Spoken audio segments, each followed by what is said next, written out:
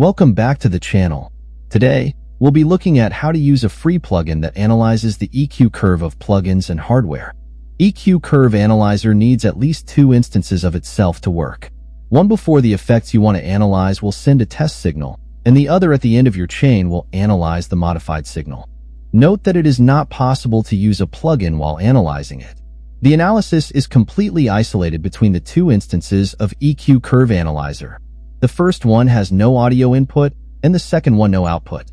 You will not hear anything during the analysis.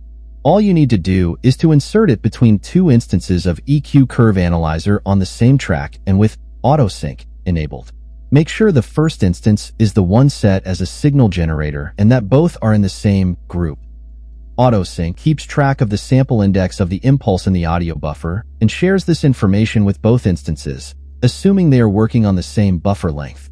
The only difference here is that you will have to set the latency parameter in order to see a meaningful phase response.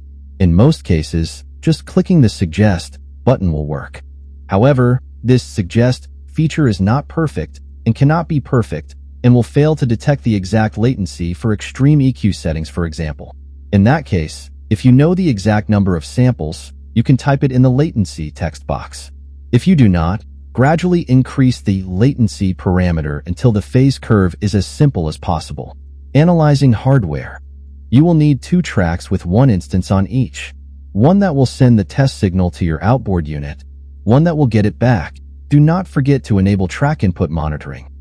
Finally, set the latency like you would for a plugin except that AutoSync will not work properly here. Disable it meaning that you are not only reporting the latency of your audio interface, but also compensating to synchronize the two instances of EQ Curve Analyzer here. Do not overthink it. Just increase the latency parameter until the phase curve is as simple as possible. Group. All EQ Curve Analyzer instances can share parameters. If they are set to the same group number, many parameters are linked between them, so they can stay calibrated to each other. Groups are useful if you want to use multiple pairs of instances at the same time. Underlay. The underlay allows you to display the current analysis data of another group of instances. Its value is the number of the other group you want to see. For example, if you analyze a plugin using Group 1 and another one using Group 2, you can see both in the Group 2 analyzer instance by setting its underlay to 1. Freeze. When enabled, the underlay spectrum is freezed and stored in the plugin state. Note that you can set the underlay to the same group as the instance. Export. Clicking the Export button copies the spectrum data of the current group to your clipboard in CSV format. FFT size. This is the resolution of the analysis. There is a trade-off between frequency resolution and temporal resolution.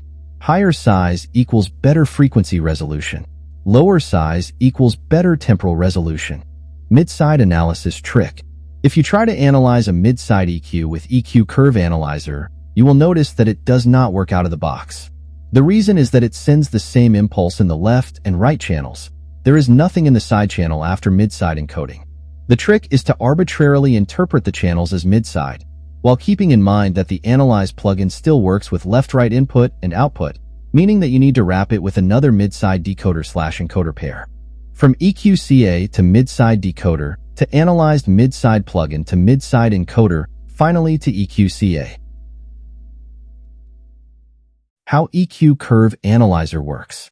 The test signal of the generator instance is made of repeated impulses.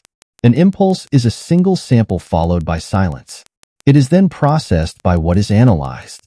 This modified impulse is the impulse response of the analyzed system. Finally, the analyzer instance transforms it to the frequency domain and displays it as magnitude and phase. Explaining linear systems is beyond the scope of this user guide, but keep in mind that if nonlinearities are introduced, the frequency response cannot define the system completely and the test is corrupt. A non-optimal test can sometimes still give useful informations, but you need to be careful interpreting it. If there is too much nonlinearity, you may not be able to extract any useful information at all. Thanks for watching.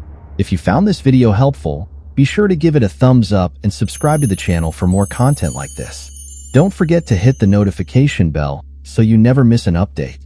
If you have any questions or suggestions, leave a comment below. See you in the next video.